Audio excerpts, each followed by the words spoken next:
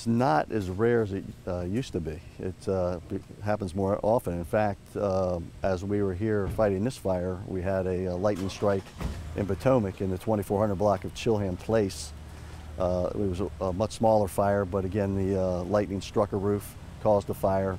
There, there was no uh, significant, about ten or twelve thousand dollars damage in that particular case, no injury. we had reports of probably five or six other lightning strikes, no fire uh, in those other lightning strikes, but uh, we had transformers blowing. Uh, we had wires down, trees down, some pretty sizable trees. some people described it as maybe a micro burst. when I talked to people today about from other parts of the county, they said they didn't really get a whole lot. Well, you know, this area, the, the storm was pretty intense.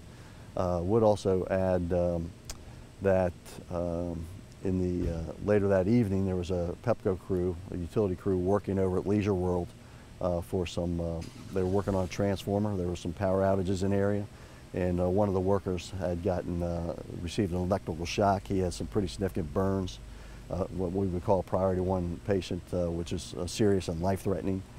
so that was an adult male utility worker who was transported to the hospital. other than that, I had not heard of any other serious injuries. We had a number of crashes other mishaps here and there, but um, as far as I know, um, that injury in Leisure World was the most serious. This here was the most serious fire that we had.